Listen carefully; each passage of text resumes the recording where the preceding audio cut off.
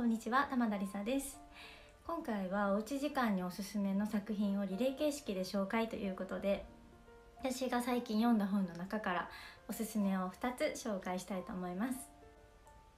1冊目がこちらです。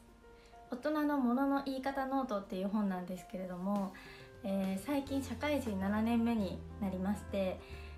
言葉遣いを見直したいなと思うタイミングが多々あり手に取りました。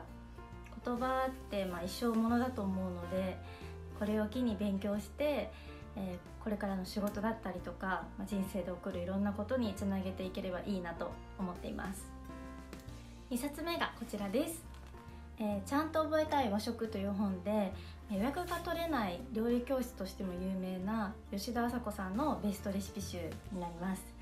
えーと、パパッと作るものに結構偏りがちで和食をちゃんと学び直すことがなかったのでこのたっぷり時間があるタイミングで、えー、ちゃんと勉強したいなと思って手に取りました。細かいポイントだったりとかあと工程もすごく詳しく載っているところが、えー、お気に入りのポイントです。はい。ということでお気に入りの本を2つ紹介させていただきました。皆さん素敵なおうち時間をお過ごしください。